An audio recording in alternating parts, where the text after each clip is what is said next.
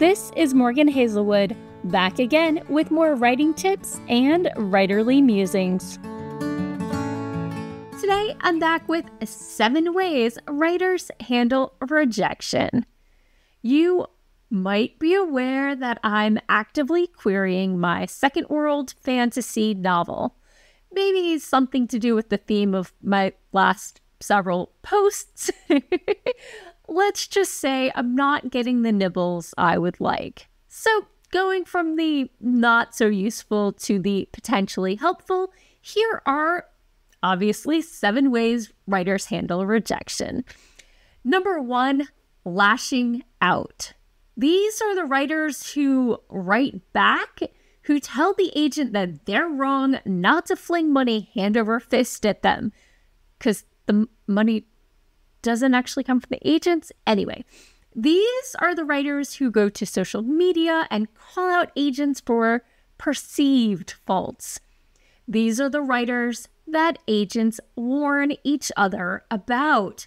The ones who helped encourage writers, or sorry, agents, to never give feedback.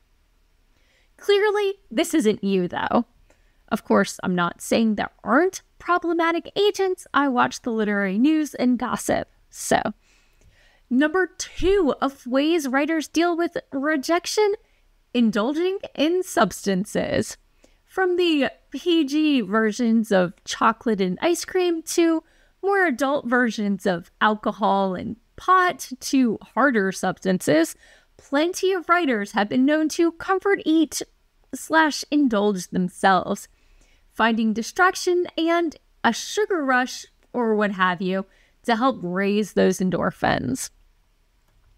The third way some writers deal with rejection is walking away.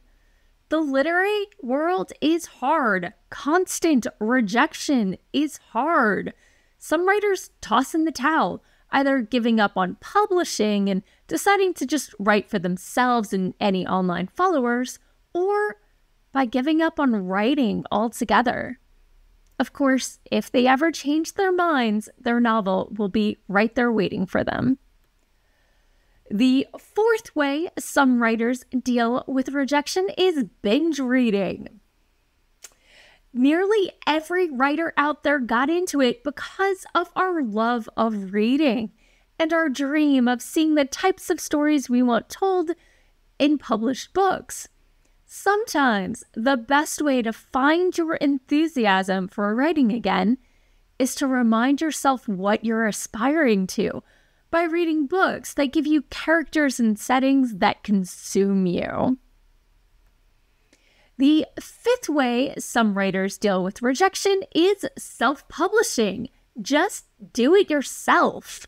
Traditional publishing is surrounded by gatekeepers accepted tropes, dictated pacing, and a lot of waiting.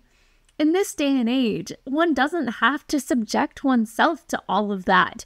You can take your novel, get it edited, and publish it yourself, controlling everything from the title to how it's marketed. No need to resign yourself to cover art you don't adore or blurb text that pushes the wrong aspects of the story or what have you. You have complete control to make sure that no one gets it wrong. The sixth way some writers deal with rejection is revision. Now, I've fallen into this trap a few times myself, but every rejection does have one thing in common the agent is re- rejecting your manuscript. Not you, no matter how personal it feels, so maybe the problem is with your query or your synopsis or your story.